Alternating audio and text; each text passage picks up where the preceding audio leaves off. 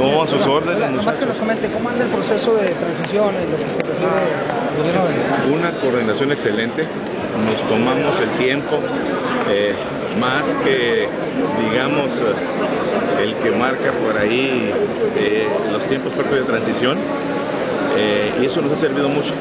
Primero porque pues, ah, estaremos muy atentos a todos los pendientes que por cuestiones, de, sobre todo de obra, eh, que trascienden una administración seccional, se tendrá que dar continuidad.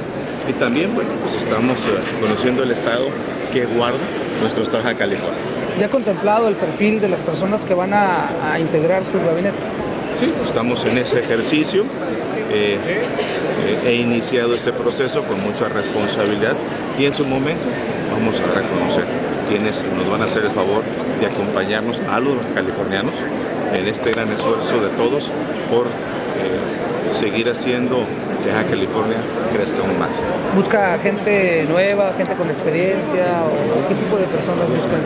Buscamos, buscamos gente honorable, gente capaz, con experiencia, gente que a todas eh, luces eh, primero sepa lo que está haciendo y, y gente a su vez muy importante que quiera nuestro estado, Oiga. California. Oiga, y bueno, ¿qué le parecieron los seis años de la administración que está por concluir?